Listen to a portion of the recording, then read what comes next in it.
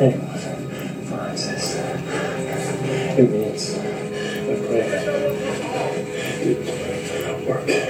And I'm already dead. But if I can somehow go back to the beginning of all of this, right?